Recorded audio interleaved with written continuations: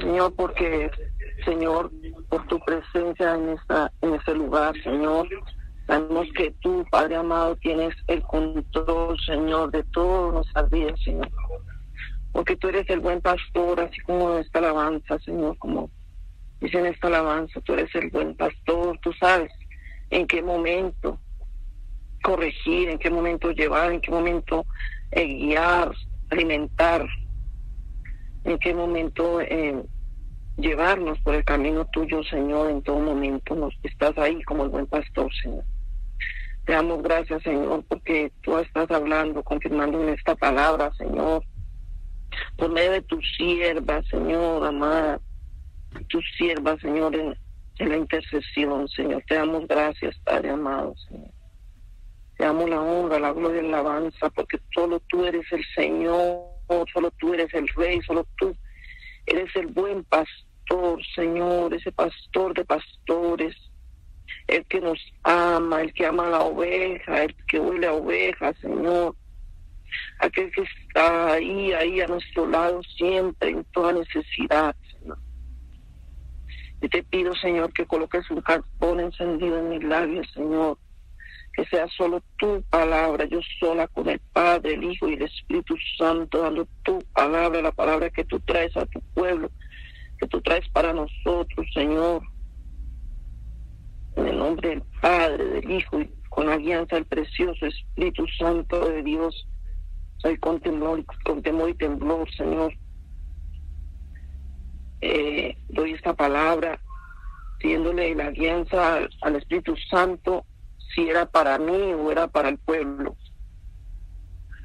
Señor confirmando la palabra que era también para el pueblo y me doy gracias al Señor. El Señor ha venido hablando sobre eh, una palabra de, eh, en Jeremías, pues le dice que, que tenemos que quitarlo oír, lo oír para, para que estemos en su presencia, para que podemos eh, ser efectivos en la obra en que Él está, está haciendo con nosotros, que pues damos ser esos testigos fieles, así como lo fueron tantos hombres en la, en, la Biblia y, y lo que está mandando la pastora, esos hombres que no eh, mencionan, un, eh, se menciona ahí un hombre pero no se no se sabe nada de ellos y se va a mirar y, se mira y ellos tenían eh, también no fue uno solo. Esos hombres ocultos y el Señor me confirmaba la palabra que, que varias hermanas han hablado que en oración que esos hombres en oculto ahí donde nadie sabe pero que no los conoce el hombre pero los conoce el Señor ¿Por qué? Porque tienen intimidad con el Señor, porque saben que, que hay en el corazón de Dios por la por su por su por su intimidad misma con el Señor. El Señor me hablaba de, de los salmos de arrepentimiento. En la Biblia hay siete salmos de arrepentimiento en la palabra del Señor. Entonces, eh, Señor me llevaba a un a un estudio es personal. Por eso pensé que era pues para mí pero el Señor empezó a, a confirmarme que nadie era el pueblo. Entonces en estos salmos de arrepentimiento hermanos los los invito a que eh, bueno este es uno de los salmos que es el salmo 6 Dice, eh, pero hay siete salmos. voy a, voy a decir cuáles son. Entonces, el salmo número 6, el salmo 32, el salmo 38, el salmo 51, el 102, el 130 y el 143. El Señor nos tiene en un tiempo con Él. Y la, la, el nombre de la predica eh, es entendidos en los tiempos. Entonces, eh, vamos a ver, vamos a ver el Salmo, el Salmo 6. Como el Salmo 6, el Señor me, me, él me tiene, me pasó por todos los salmos, pero me dijo, tienes que desmenuzar, desmenuzar la palabra. Entonces, vamos a ver el Salmo 6. Entonces, mm, dice el Salmo 6, como título, oración pidiendo misericordia en tiempo de prueba. Entonces es un tiempo de prueba, hermanos, que estamos en estos momentos. Gracias, hermana. Hermana eh, eh, Maribel es una sierva diligente. Gloria a Dios porque está en el cuerpo, en el cuerpo de Cristo está con nosotros. Pues gracias al Señor porque ella es diligente en todo lo que necesitemos, alabanza. Se lo pedimos a ella y ella siempre dice sí. La gloria para el Señor porque tiene ese don de servicio, es un don y lo tiene ella. Entonces dice la palabra de Dios en el nombre del Padre, del Hijo y con la alianza del precioso Espíritu Santo. Dice, es un salmo de David, oración pidiendo misericordia en tiempo de, de prueba estamos en prueba, hermanos, porque el Señor que dijo que no nos quería que sacáramos de nosotros todo lo vil, todo lo vil y lo lo que lo menospreciado, lo que a él no le agrada.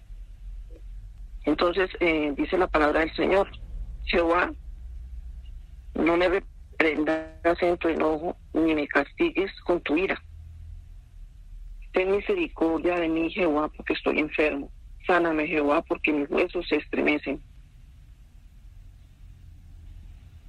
El 3. Dice, mi alma también está muy turbada y tú, Jehová, ¿hasta cuándo? No hasta ahí del 1 al 3.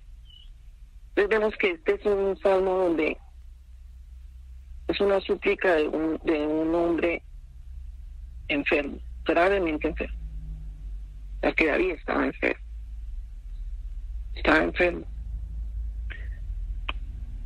En la primera parte del uno, el uno dice que no, que no me reprendas con tu enojo. Pide misericordia, David, al Señor, porque él sabe que cometió un error. Y el dos dice, ten misericordia de mí, Jehová, porque estoy enfermo. Sáname, Jehová, porque mis huesos se estremecen. Vamos a, llevar a la parte espiritual. Vémonos que siempre las enfermedades vienen por un alma enferma. Todo lo que está eh, eh, eh, espiritualmente, todo lo que se ha hecho afecta con el órgano el que se usó para la maldad. Vamos al 3 donde dice mi alma también está muy turbada y tú Jehová, ¿hasta cuándo? Pues mi alma, vemos que una alma turbada es porque vienen pensamientos, eh, los pensamientos perturbadores como dardos de fuego vienen a la mente. Entonces del enemigo, el enemigo envía dardos de fuego para quitarla la paz, que la confianza, que viene, que viene de, la paz y la confianza, que viene de estar con fe en el Señor, confiado en las palabras del Señor. Eso es lo que quiere el enemigo, venir y quitarnos esa paz, esa confianza, que en todo momento debemos estar confiados en el Señor, no permitir que sus pensamientos perturben nuestra mente Entonces vamos a Efesios 6, 16. Pues no vamos, pues ahí lo podemos leer. Dice Efesios 6, 16. Dice, sobre todo, toma el escudo de la fe con que podéis apagar todos los dardos del fuego del maligno.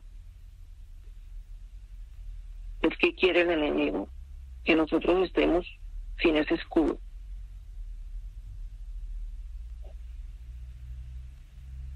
Para que él pueda penetrar nuestra mente, manipularla y quitarnos la paz. Y quitarnos esa confianza. La confianza que por medio de las palabras del Señor nos da, nos da, la, palabra nos da esa confianza en el Señor. Entonces, ¿qué pasa ahí? Vienen pensamientos perturbadores, ya sea enojo, ira, culpa, temor. ¿Y qué hace una alma turbada? Le hace un altar al problema. Se le hace un altar al problema. Entonces, eh, eh, la persona va a estar ese pensando en todo momento, este problema, esta, esta, eh, tengo que solucionar esto, esta enfermedad, esta carencia, esta falta, se, hace, se nos, nos miramos nosotros, para ahí nos miramos nosotros, nosotros mismos, porque hacemos ese altar al problema y nos miramos nosotros y solo nosotros y qué hago y qué hago, me esto y esto y no tengo trabajo y esto y esto. Entonces hay una insatisfacción Entonces ahí dice, en una insatisfacción, eh, dice como la palabra dice en Santiago 1, vamos a Santiago 1, vamos del, del 7, del 7, 7 al 8, veamos Santiago 7 al 8. Entonces dice la palabra del Señor. el, el título de esta, de esta palabra en Santiago 1 dice la sabiduría que viene de Dios. Pues en el 7 dice, no piense pues, se dice, no piense pues quien tal haga que recibirá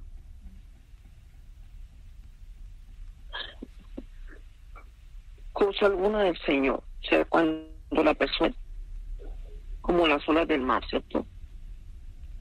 Está dudando. Entonces no puede recibir. Porque duda. Yo no le gusta la duda. Dice el 8. Ya que es persona de doble ánimo e inconstante en todos sus caminos. está insatisfecha y sin constante. En todos, no dice en un solo camino, sino en todos sus caminos. ¿Qué quiere el Señor? Que nosotros estemos, el Señor ha hablado mucho de la fe, es que la fe es vital, tenemos que estar con fe porque dice sin, fe es imposible agradar a Dios. No estamos agradando a Dios, por, por lo tanto no vamos a recibir por lo que estamos pidiendo, porque lo estamos pidiendo mal, estamos, estamos mirándonos a nosotros y no estamos mirando más allá. El Señor quiere llevarnos más allá, más allá, no mirar ni en, enfrascarnos en el problema. Señor quiere que, nos, que miremos el problema desde arriba, como las águilas. Ya mirando el problema desde arriba, como las águilas, entonces, hoy le pregunto a cada hermano, a cada hermana, ¿qué problemas tienes tú? Tu, tu perturbación. ¿Cuál es, ¿Cuál es en este momento, en este tiempo, cuál es lo que tú, a ti te preocupa? Entonces el Señor nos envía la palabra a Mateo 6, Mateo 6, 25 y nos envía la palabra y dice, el título es La confianza en Dios.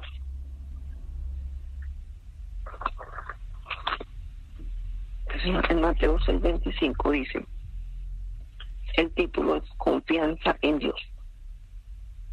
Todos lo sabemos, todos lo hemos escuchado.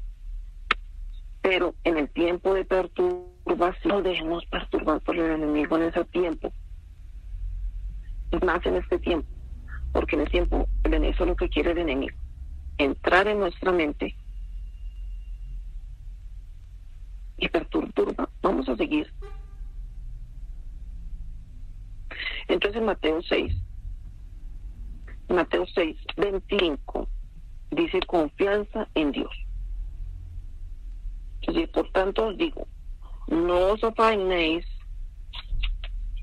no os angustiéis, dice, no os angustiéis por vuestra vida, que habéis de comer, que habéis de beber, ni por vuestro cuerpo, que habéis de vestir, no es la vida más que el alimento y el cuerpo más que el vestido.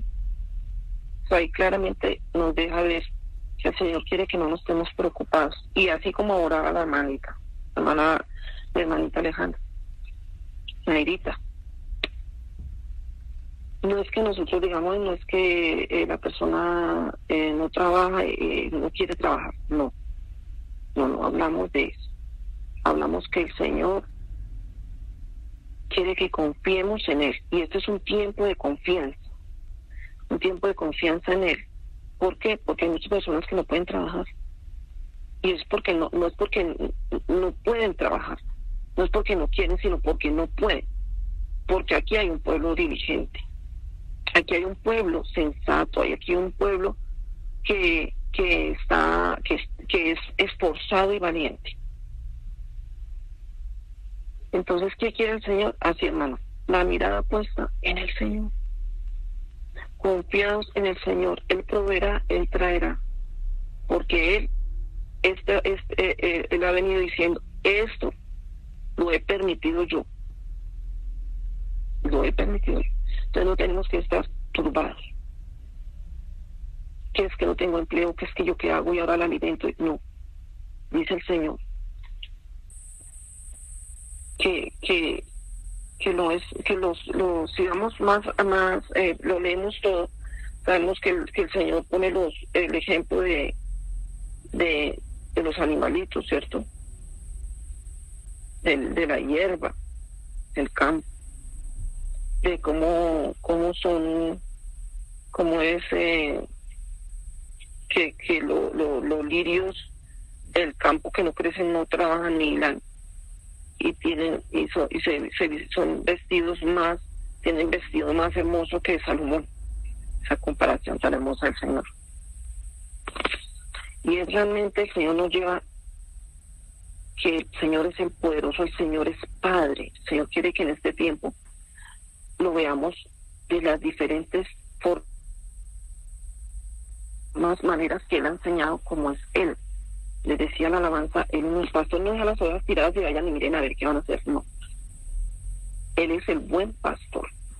Entonces el buen pastor cuida sus ovejas, las alimenta, les provee. El Señor toca corazones y envía alimento, porque Él sabe que tú no estás ahí porque tú quieres. Por eso la predicación se llama Entendidos en los tiempos. Tenemos que estar confiados, la confianza en Dios, dice ahí el mismo título lo, lo refleja cómo debemos estar con el Señor. Entonces, ¿qué debemos hacer? En el Salmo 116, 7, vamos al Salmo 116, 7, dice la palabra del Señor. Dice el 116, hija mía, a tu reposo, porque Jehová te ha hecho bien.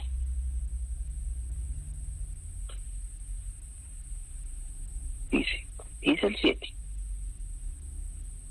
Vuelve, alma mía, a tu reposo, porque Jehová te ha hecho bien. Pero vemos el título del Salmo 116 y dice, acción de gracias por haber sido librado de la muerte.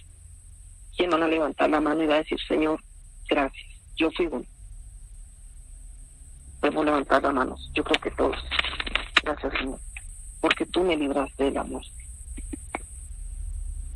tú me libraste de la muerte y le decimos al alma, vuelve alma mía a tu reposo, descansa, confía en el Señor, porque el Señor ha dado este tiempo para buscarlo a Él, buscar su presencia, confiar como un niño en el Padre, en los brazos del Padre. Decirle gracias, Señor. Gracias, Señor, por lo que tú estás haciendo, porque este tiempo es de gozo, porque este tiempo es para llevarnos, para hacernos, para enseñarnos. Que el Espíritu Santo, como dice la palabra en Génesis, el Espíritu Santo vino a ordenar lo que estaba en desorden. Espíritu Santo se movía por las aguas. ¿Quiénes tienen? ¿Quién tiene que agradecerle al Señor ser librado de la muerte? Yo soy primero. No decía Pablo, yo soy primero. Yo soy, de ella soy la primera. Gracias a Dios, que yo fui librado de la muerte. No una, no dos. Muchas veces aún de la muerte espiritual y de la muerte física. Tengo que enseñarle a mi alma a buscar al Señor, buscar a su Señor, tengo que enseñarle al alma, andar, no andar perturbada, estar metida en el tiempo, en el tiempo que el Señor quiere, que este es un tiempo para estar en Él, buscar de Él, y hallar en él satisfacción. Que en él puedo esperar, desear su presencia, porque todo tiene su tiempo. Vamos por favor a Eclesiastes 3.1.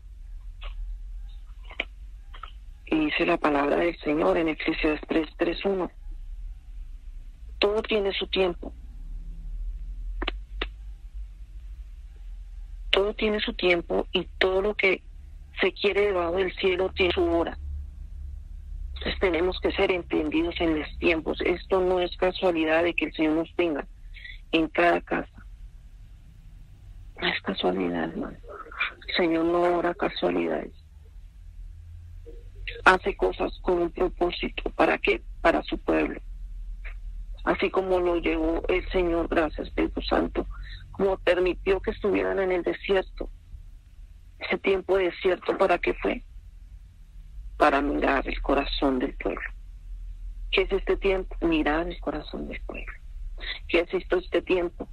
Mirar, examinarlo y que saquemos todo lo que no le agrada al Señor.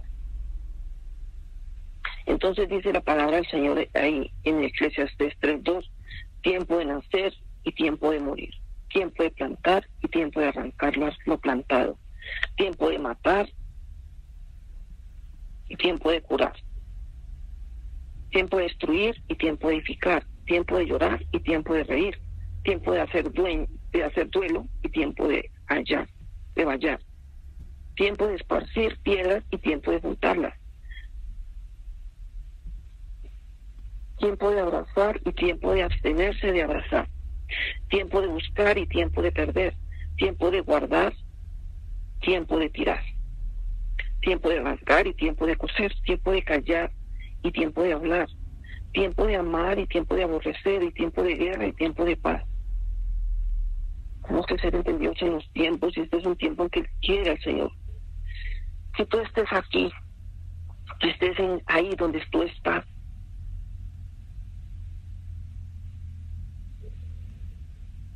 ¿Para qué? Para llenarte. ¿Para qué? Para aprobarte por eso, hermanos, vamos a, a, Mateo 25. 25, porque es que el Señor no nos tiene, no es que estoy aquí perdiendo el tiempo, tanto tengo que hacer, tengo mucho que hacer, yo tengo que ir a unos negocios, yo tengo que ir a, a,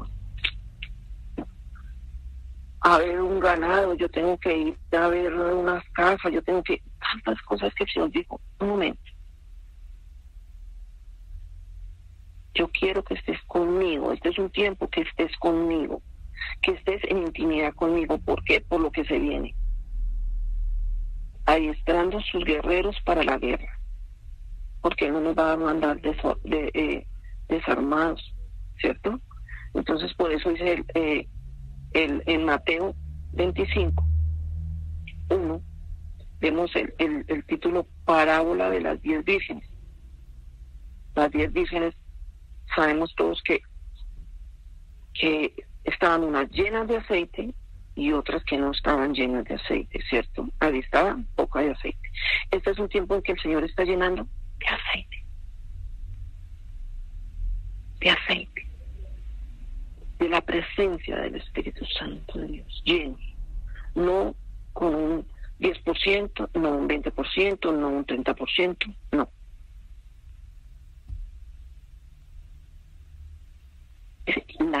Las insensatas no tenían el aceite suficiente.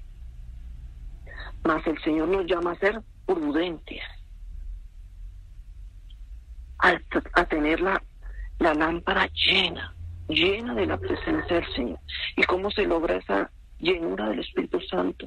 En su presencia. Por eso nos quiere en su presencia.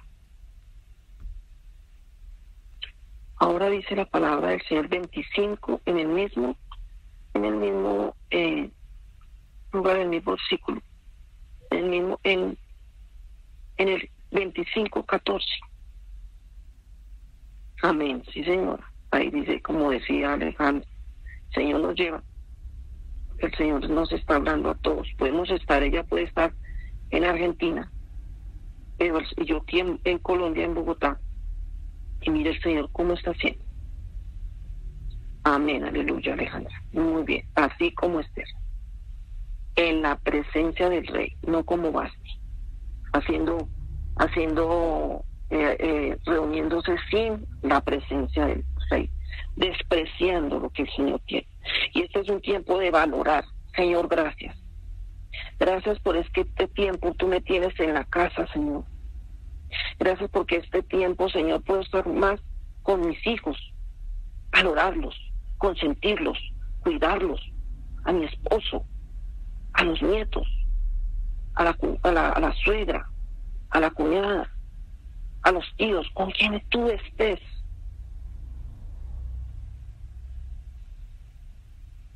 Para dar gozo, para dar el gozo del Señor. Porque aquí tenemos gozo, no perturbación, no perturbados porque en la perturbación no está el gozo. ¿Cómo puede un alma estar? Un alma que está en reposo. En un alma que no está en reposo no puede haber gozo. más un alma que se encuentra en reposo hay gozo. Y el gozo solo nos trae la presencia del Espíritu Santo.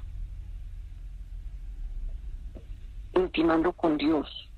Sabiendo que en la intimidad con Dios estamos confiados, confiados como esos hijos pequeños que estamos al lado del Padre. El Señor proveerá todo, todo lo proveerá el Señor. No afanados, necesito ir a trabajar, necesito buscar empleo, necesito ir a necesito acá, necesito allá.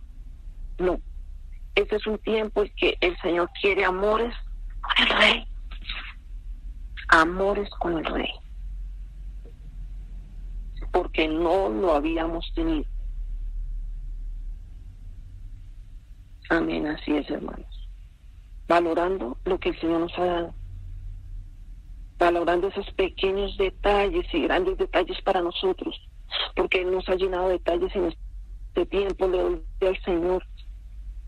Detalles pequeños para el hombre, pero, pero, pero que lo llenan a uno. Dice, Señor, gracias, tú lo sabías que necesitaba y que quería, que quería esto y tú lo traes.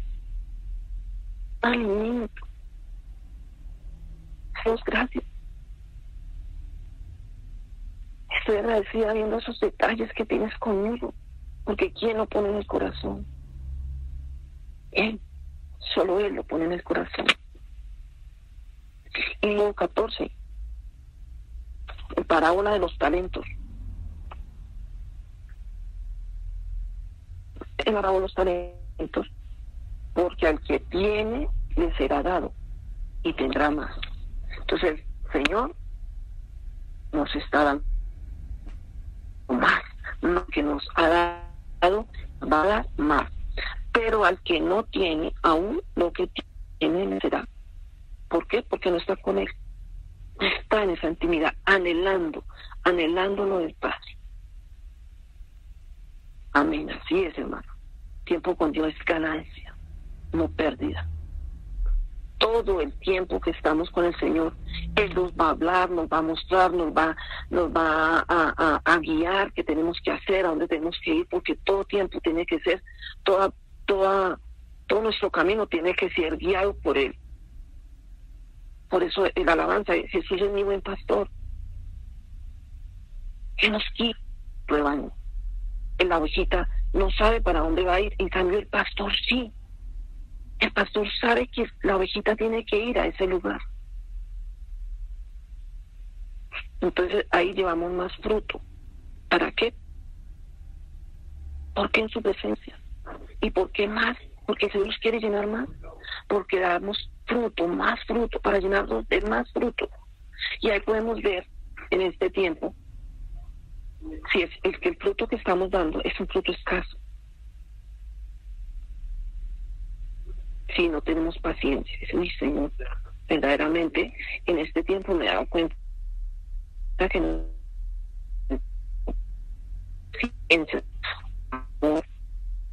Señor, o no. Tengo, me cuenta que lo que la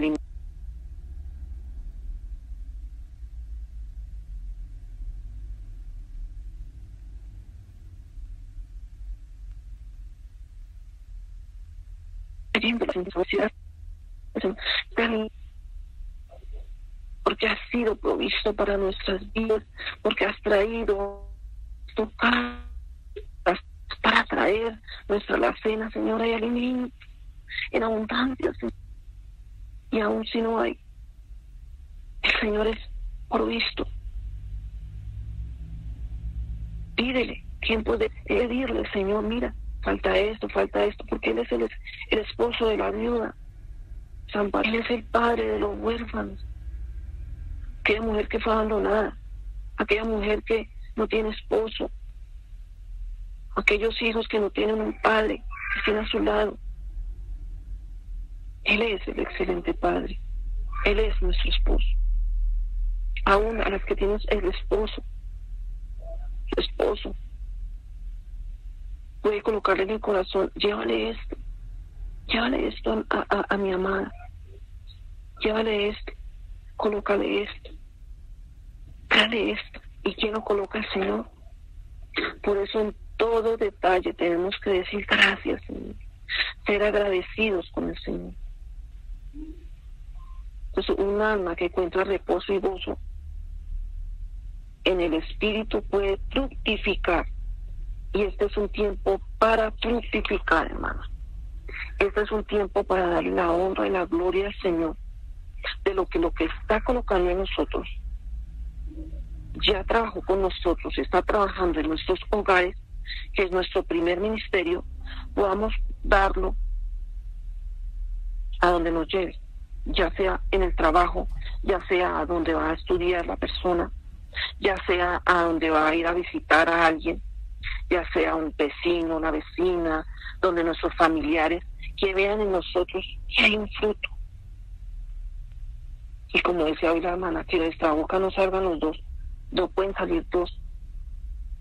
No podemos decir, no, pero es que esta situación, pero ¿cómo vamos a hablar? Si el Señor tiene control de nuestras vidas. Que se vea en nosotros que en este tiempo está Dios cuidando de nosotros. Que nosotros no podemos hablar como ellos hablan. No podemos hablar como el mundo habla, porque no lo podemos hablar, hermano. Podemos ver la gloria de Dios en este tiempo. Podemos ver su magnificencia, podemos ver su poder, su amor, su cuidado, su provisión.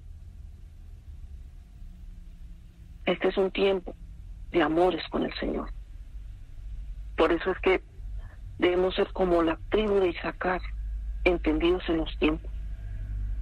No que en nuestra boca estemos en nuestra mente preocupada y ahora qué vamos a hacer y toca, tocaba ir allá, tocaba ir acá, tocaba ir a hacer, sí, pero es que este es un tiempo con el Señor. Este es un tiempo en los brazos del Señor. Este es un tiempo que estemos, tenemos que estar arropados de su amor, que Él nos guíe, que Él nos lleve, que nos diga qué hacer. Entonces, hermanos, Señor me llevaba al Salmo 32, que es el, que es el siguiente salmo.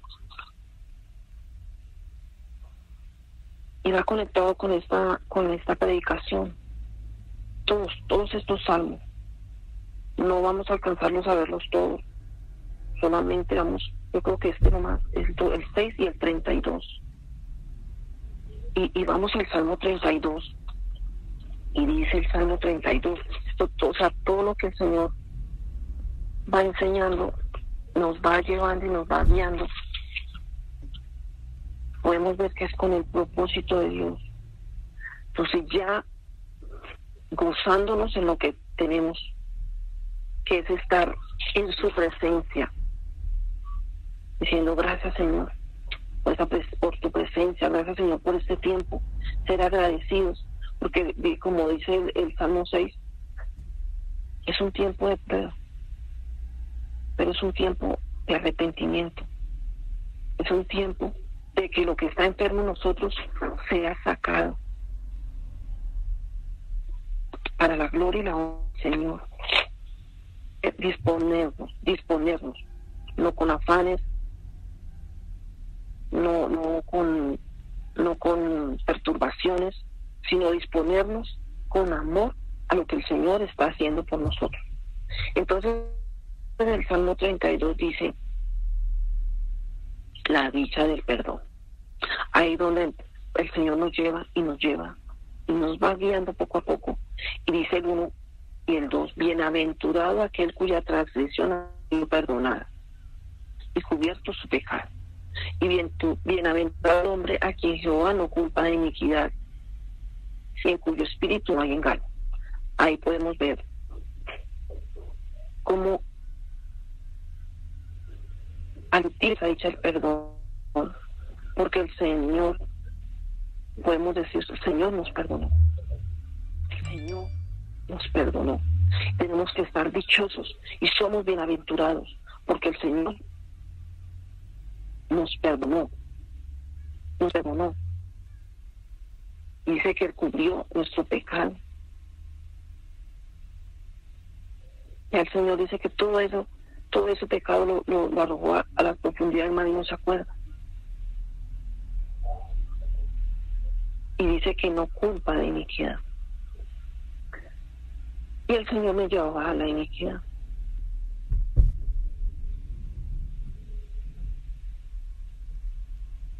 Pero vamos al 3. Y dice, mientras callé, se envejecieron mis huesos. En mi gemir todo el día, porque de día y de noche se agravó sobre mí tu mano. Se volvió mi verdor en sequedad de verano. Tres, cuatro. Entonces dice, mientras callé, ¿qué necesita el Señor? Que abramos nuestra boca, que confesemos nuestras faltas que confesemos nuestro pecado aún lo que está oculto y lo que no veamos. El Señor este es un tiempo. Por eso nos está enviando sueños, nos está hablando por medio de la palabra, nos está abriendo el libro. Porque no es casualidad que, un sueño te diga, mira, lee tal salmo, lee tal proverbio, lee tal, lee tal libro que yo te voy a hablar. Pero si está mi mente turbada, en que necesito trabajo, es que necesito esto, en que necesito aquello. No podemos estar con la mente diciendo, Señor, este es el tiempo tuyo. Me dispongo, estoy gozosa, porque estoy bienaventurado, porque recibí ya perdón. Y por cuanto recibí perdón, yo quiero estar al lado tuyo, yo quiero estar al lado del que me perdonó aquel que me perdonó. Yo quiero estar al lado de él, de oír sus palabras. El Señor está mostrando, está mostrando para qué, como dice el 5, mi pecado te declaré, para declarar el pecado que hay. Y no encubrí mi iniquidad. Dije, confesaré mis rebeliones a Jehová y tú perdonaste la maldad de mi pecado. La maldad es lo mismo que iniquidad. Señor nos ha hecho sacerdotes. ¿Qué hace un sacerdote? toma el pecado de sus generaciones y pide perdón. Su pecado y el pecado de las generaciones.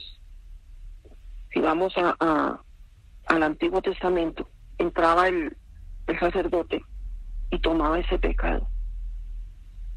El Señor por eso nos llama sacerdotes.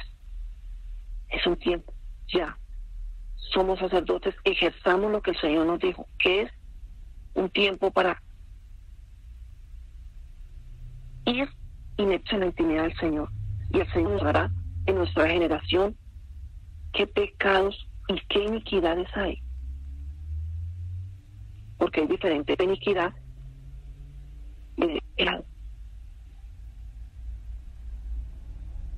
y tomarla, es la nuestra, pecando, el pueblo era el que estaba pecando. Y lo hizo en Dios nos manda ayuda, oración, clamor. Este es el tiempo, hermanos. Este es el tiempo, no va a haber más tiempo. Por eso son enseñados, tenemos que ser entendidos en los tiempos. Este es el tiempo para ayunar. Es el tiempo para decir, Señor, muestra.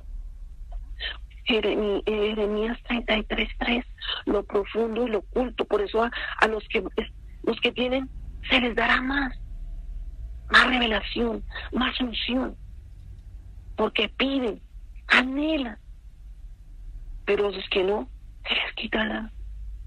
Aún lo que tienen se les quitará como los talentos. Los talentos que fueron quitados 25-14, fueron quitados los talentos aquel que, que puso excusas. Es que yo tengo que ponerme a pedir trabajos, que yo tengo que, que, que, pensar en otras cosas, que yo tengo que, que la casa, que es que el mercado, que es que... Esas fueron las que vio cuando el Señor le entregó. Entregó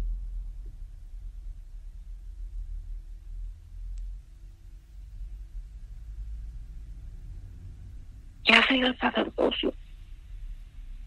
Tomarlo, tomar el pecado de tu casa, tomar el pecado de tu hijo, tomar el pecado de tu esposo y meterte en oración y meterte en ayuno. Y vamos por favor a Isaías 59, 4.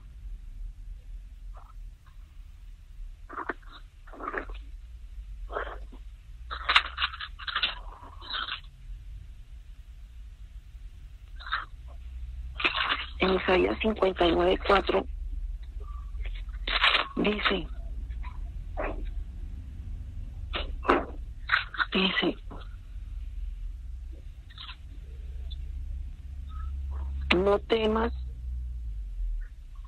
no temas, aquí no hay quien clame por la justicia, ni quien juzgue por la verdad. Confían en vanidad y hablan vanidades, consiguen maldades y dan a luz iniquidad. No hay quien, no hay quien clame por la justicia. El mundo no puede clamar por justicia de Dios porque no lo conoce. Tú y yo lo conocemos. Tú y yo tenemos que clamar por eso. Tú y yo tenemos perros que caigamos la palabra del Señor que juzgue, porque Él es la verdad. No estar en las vanidades del mundo que voy a comprar, que voy a hacer. No, esas son vanidades. Y hablar vanidad y la novela y la película. Porque habrá tiempo, habrá tiempo. Pero se están concibiendo maldades en las familias, las casas de nuestras generaciones y dignidad. Conciben maldad y dan incuban huevos de áspides y tejen teja, telas de araña. Como una incubación. Cuando veamos lo de iniquidad.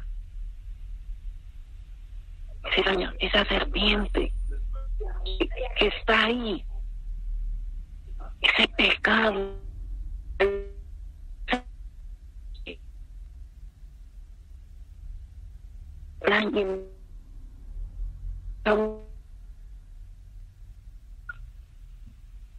Porque así es el pecado, y así es.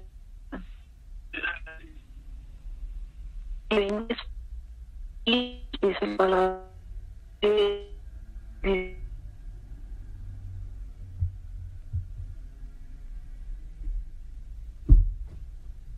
dice encontrar justifica a los actos o sentimientos de pasiones.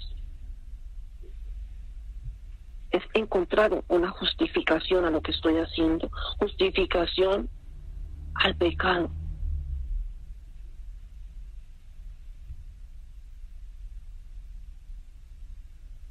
Ese es el, el, La iniquidad. Ahora la, iniquidad es una cualidad del inicuo. Es una cualidad, está intrínseco en él, ya está en él, está en él, le gusta hacerlo. Porque hay en él maldad, hay perversidad, hay abuso, eso es iniquidad, abuso. Hay una gran injusticia. Todo acto contrario a la moral de Dios, eso es iniquidad. Toda infamia, y hermano y hermana, tú y yo sentados esperando que pase esta pandemia y el Señor hablando que hay iniquidad, que hay iniquidad en nuestras casas, que hay iniquidad en el mundo. ¿Y qué tenemos que hacer? Así dice hermana, el que comiere de sus huevos morirá, y si los apretare saldrán víboras, porque está incubado, el pecado está ahí, ahí, en la sangre, en la sangre del ser humano. ¿Y cuántos años, generaciones sin Dios? ¿Cuántos años admitiendo esa perversidad en nosotros, dentro de nosotros, dentro de las casas, de la familia? Y el Señor te dice, como sacerdote, hijo, hija, tienes que mirar qué iniquidad hay en tu casa, qué iniquidad, qué pecado. La iniquidad es esa raíz, es como ese cáncer y toca estirparlo porque el cáncer hace metástasis. Ese es el cáncer. Ese es el cáncer. Y hace metástasis, él va, él va, él va y contamina todo, todos los órganos. Por eso tenemos que sacar la iniquidad de nuestras casas, la iniquidad del pueblo. Porque la iniquidad es carácter detrás de la acción. Por eso el Señor nos hablaba por medio de, de, de, mi pastora Cris. El carácter. El carácter de Dios en nosotros, porque ya la iniquidad es un carácter detrás de la acción una perversión. Amén. Sale todo eso en el nombre de Jesús. Pero ¿cómo hago? Si no me, no estoy, yo, mi mente está perturbada de que yo, yo tengo que hacer esto, tengo que arreglar la casa, tengo que ponerme a lavar, tengo que ponerme, aprovecho es para lavar. Sí, podemos lavar, podemos limpiar, pero hay tiempo con el Señor. Y ese es el tiempo en que el Señor envía el sueño, envía el sueño, envía la palabra, y el Señor dice, esta palabra es para ti. En tu casa hay iniquidad. Y no solamente hablamos de iniquidad sexual, porque la iniquidad abarca varias áreas. Varias áreas. ¿Y para qué estamos nosotros como sacerdotes? Decir, Señor, ¿cuál es la iniquidad de mi casa? Quiero, Señor, como dice Jeremías 33, 3, si tú dices, si me lo pides a mí, demostraré lo profundo y lo oculto, por eso se le dará más al que pide se le dará más, más, más llenura del Espíritu, como las vírgenes, más llenura para saber qué tenemos que orar, qué tenemos que hacer. De una comparación Isaías 64, 6, 7, que, que, que hay una hoja muerta, que es Israel. O sea, la hoja muerta está suelta del árbol, suelta, suelta del árbol. Y el viento es esa iniquidad la iniquidad se la lleva, lleva esa hoja para donde quiere ir. Esa iniquidad, esa iniquidad anda a donde quiere ir.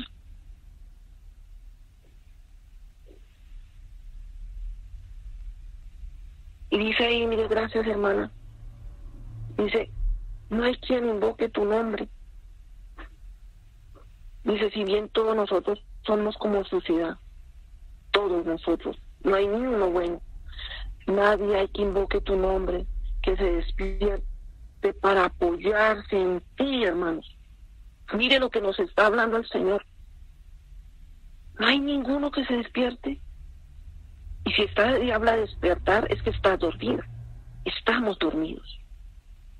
Como hablaba ayer el Señor me confirmaba la palabra. Ayer y antier la hermana que, que hay en, nosotros ese deleite, esa pereza, ese sueño. ¿Y por qué estamos con sueño? ¿Por qué estamos cansados? Si no estamos haciendo nada. Les quiere el enemigo. Dormir. Dormir para que no nos despertemos a orar, a clamar. ¿Y quién se va a apoyar? Apoyarnos. Nadie hay que invoque tu nombre. Nadie hay. Que invoque tu nombre. Pero nosotros estamos aquí como ese remanente para invocar tu nombre y para sacar toda iniquidad. Toda iniquidad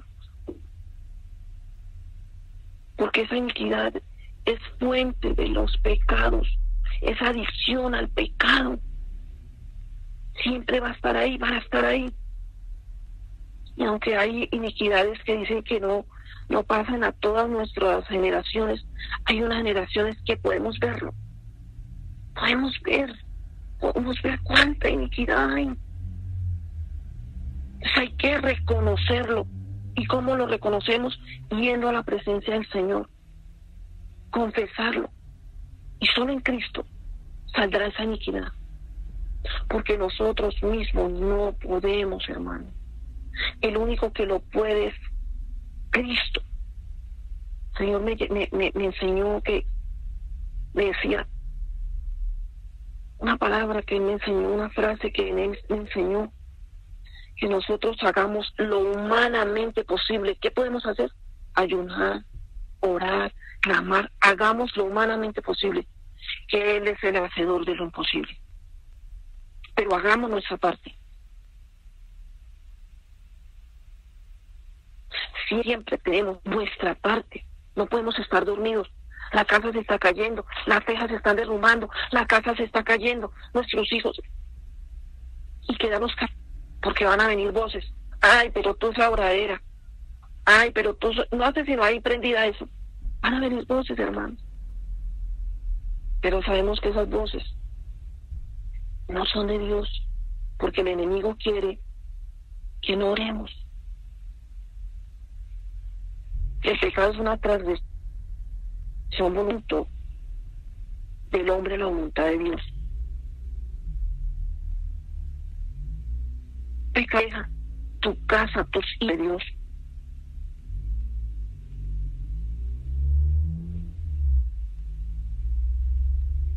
Entonces vamos a Éxodo 34, 6. Dice en Éxodo 34, 6 que Él visita. O sea, la iniquidad visita, no es como el pecado. La iniquidad visita, visita, visita. O sea que ella va a tocar a tu puerta buenas, aquí tengo derecho legal, voy a entrar. Y aún ni, golpea. Ahí entra. Entra porque ya está la puerta abierta. Está la puerta abierta esa iniquidad. Entonces en eso 34, 34, 6. Dice el Señor, dice el Señor en su palabra. En 34, 6.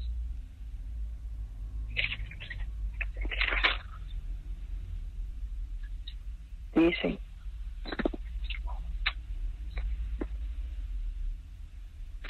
casi como, y pasando Jehová por delante de él, proclamó Jehová, Jehová fuerte, misericordioso y piadoso, tardo para el aire y grande misericordia y verdad, que guardas misericordia a millares,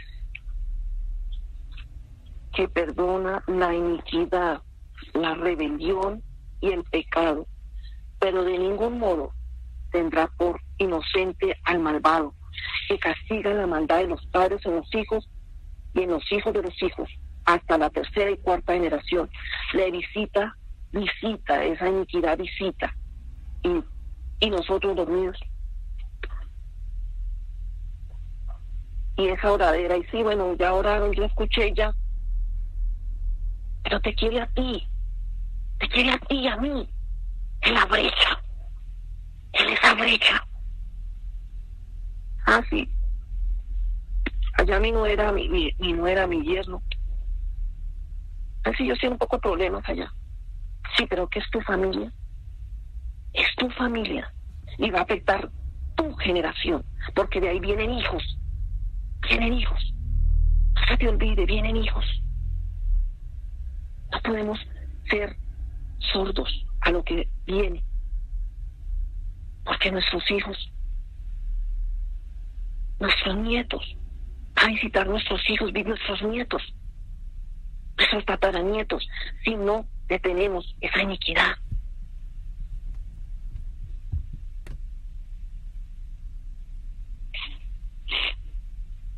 Entonces vamos a Isaías 49.8, porque todo el Señor lo tiene con un propósito. es grande y poderoso. En Isaías 49.8 dice,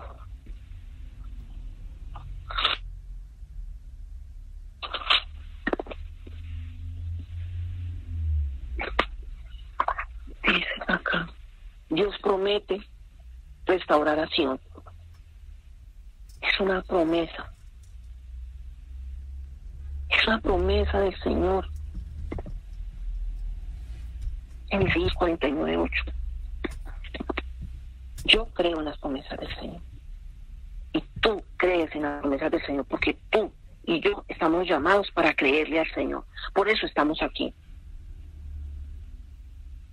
Por eso estamos aquí. Dice en Isaías 49.8, Dios promete restaurar a Sion a la iglesia.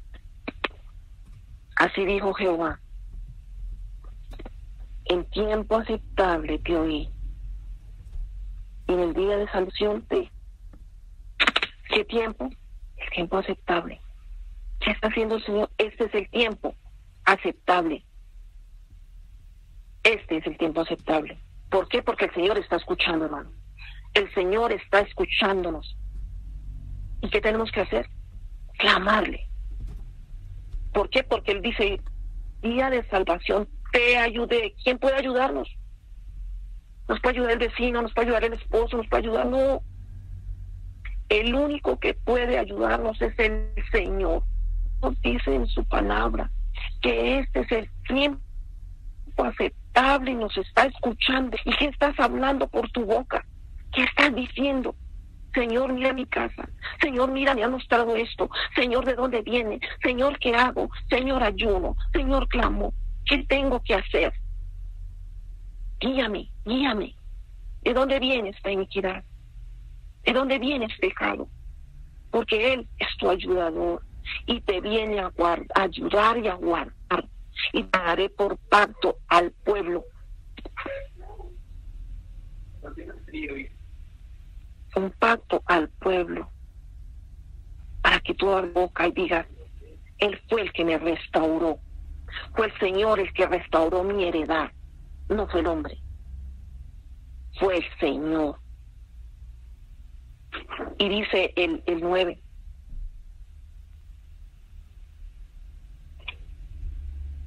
acá, para que digas a los presos y que yo me confirmaba por medio del pastor la palabra.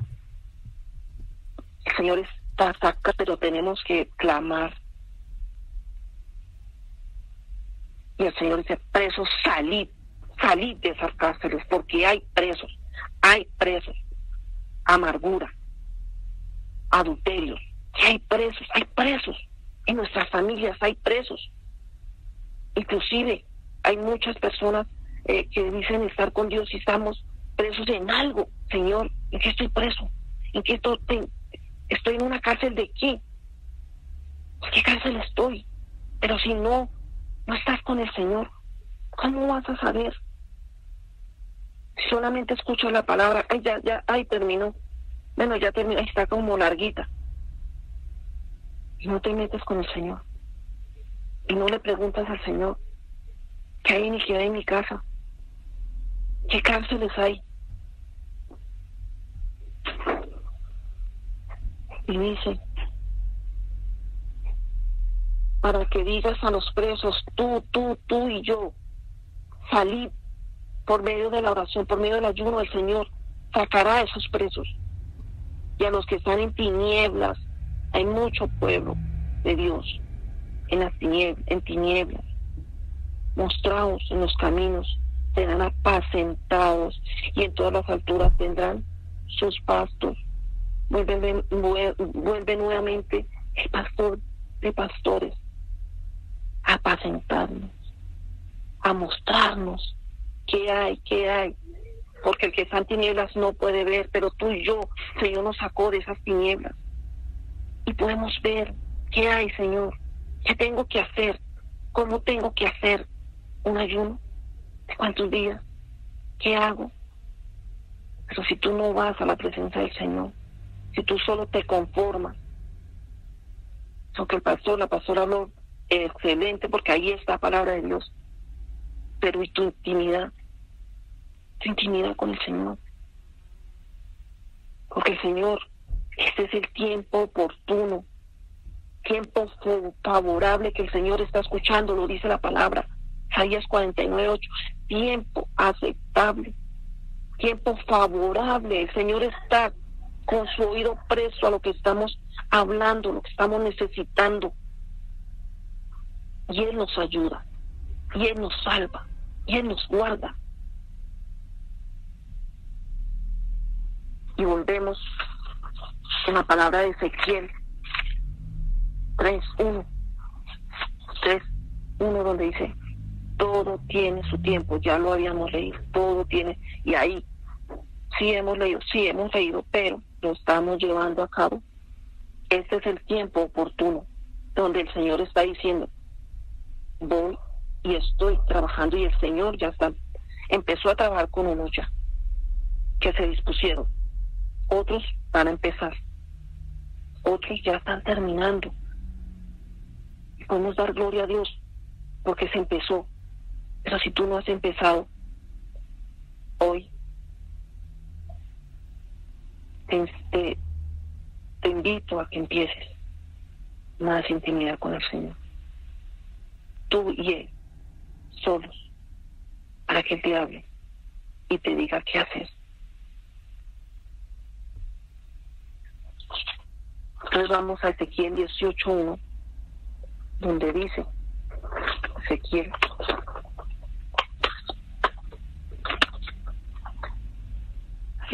uno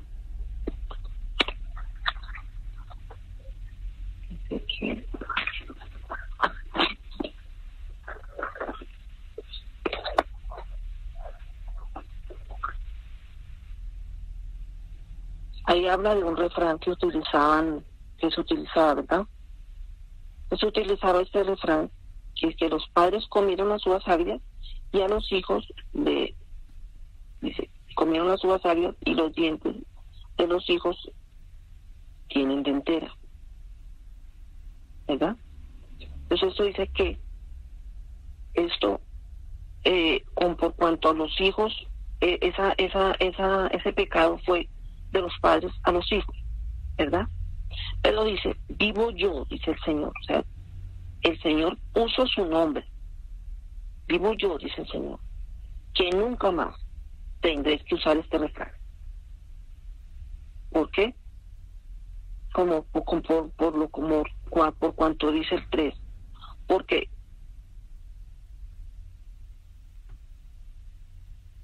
todas las, nunca más está Tú y yo tenemos responsabilidad ante el Señor de qué es lo que estamos haciendo. ¿Qué estamos haciendo? Porque todas las almas son mías, dice el Señor.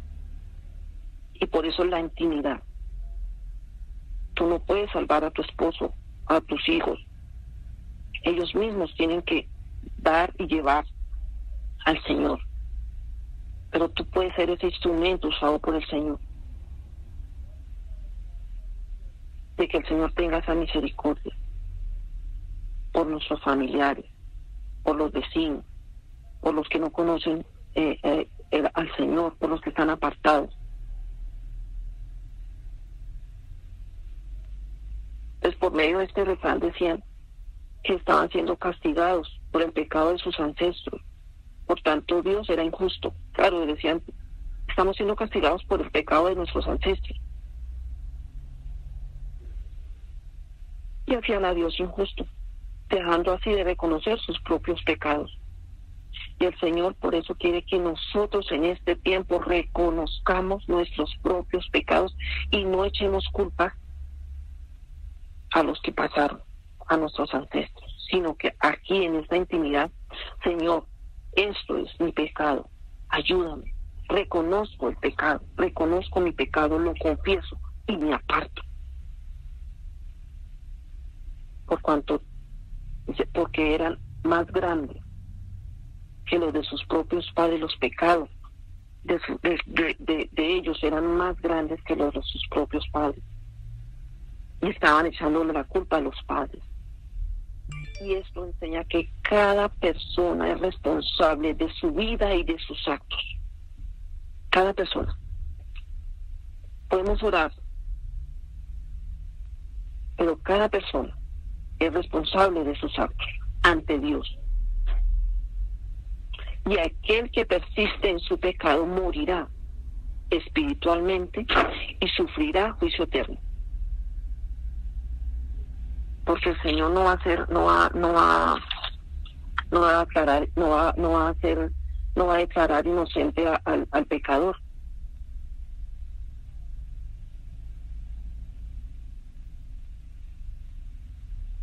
Y dice en Deuteronomio 24, 16, cada uno morirá por su pecado. En Deuteronomio 5, 9 también habla del pecado del pueblo. Pero en Éxodo 25, 25 habla de la iniquidad. La maldad es una semilla diabólica. La iniquidad es una raíz. La iniquidad está unida al mundo de las tinieblas. Y el enemigo tiene derecho legal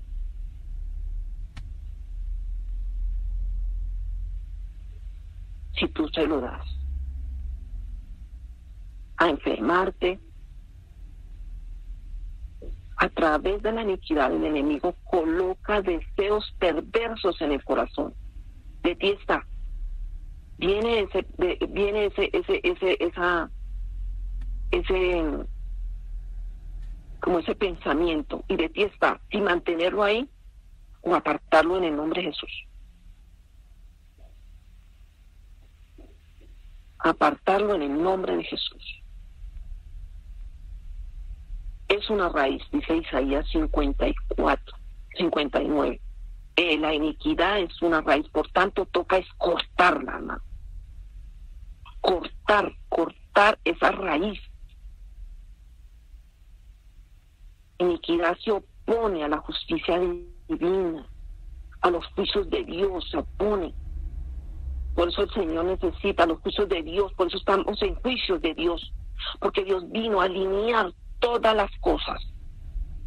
Y con la voluntad de Dios tú y yo instrumentos para hacer de que ese juicio sea ejercido aquí en cada casa, en la tierra, en la justicia de Dios.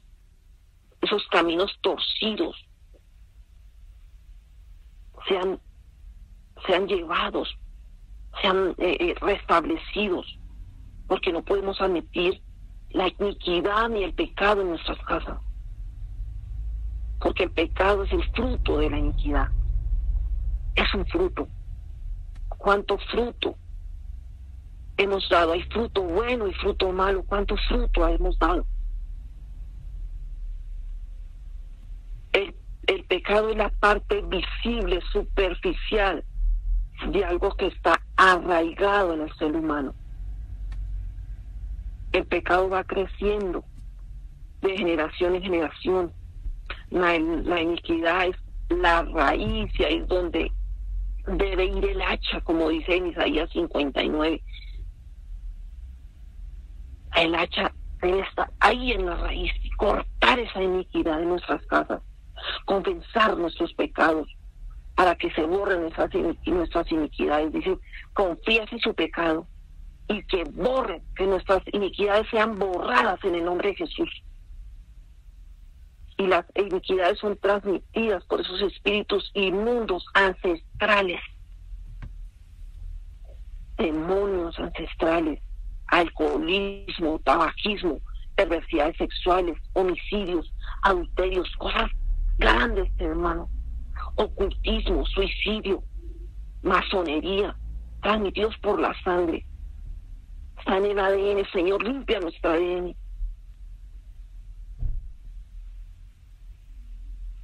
Y si hacen pactos, ¿cuánto más? Como lo contaba nuestra hermana, esos pactos que se hacían con brujería, son pactos.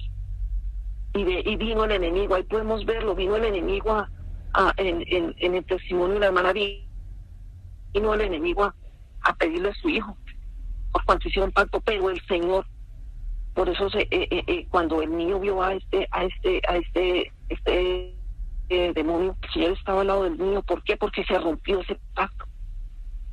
Se cortó de raíz. Porque ella ya no queremos hacer pedir perdón por las iniquidades de nuestros antepasados, porque somos sacerdotes, ejerzamos, ejerzámoslo como si lo hubiéramos hecho nosotros, ese pecado tomarlos como si lo hubiéramos hecho nosotros. Esas iniquidades, Señor, esa iniquidad, Señor, que me estás mostrando. Porque los sueños, si tuve este sueño, sí, pero ¿para qué? O tuve este sueño con, con eh, eh, el familiar de mi hijo, de mi hija, de mi nuez, sí, pero ¿para qué? No para el dedo acusador, sino para, tomar este pecado y que este pecado esta iniquidad sobre nuestras generaciones. Y rehusó de pacto de nuestros antepasados. Nosotros no lo sabemos, Él sabe, sabe lo profundo, lo escondido. Jeremías 33, Él sabe todo, todo. Satanás tiene poder, pero no autoridad. Y, se la, y le damos esa autoridad con él, se pecamos y ese pecado le da derecho al legal a él y a esos demonios a activar esa iniquidad. Y está en nosotros. Licencia con el pecado, esos deseos. Admitirlo nosotros, hermanos. No tenemos que admitir más. Porque ahí, por eso es de generación en generación. De generación en generación, bendición. Porque ahí la palabra del Señor habla de que perseguirá la iniquidad de generación en generación hasta la cuarta generación, como lo hizo con David. Y siguió, y no fue cortado ese adulterio, y en toda esa inmundicia sexual. Pero si nosotros nos ponemos en la brecha y no admitimos y cortamos de raíz esa iniquidad, en el nombre poderoso de Jesús, en nuestras generaciones ya no seguirán ese pecado, esa inmundicia, esa inmundicia porque eso es lo que quiere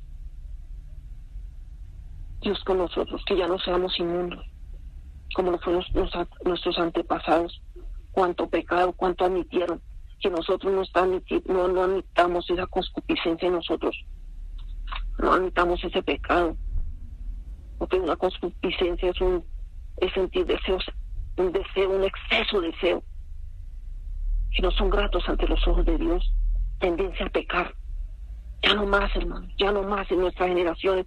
Por eso nos decidimos con Dios. Nos decidimos con Dios, hermano. Y le doy la honra y la gloria al Señor, porque el Señor fue el que dio esta palabra.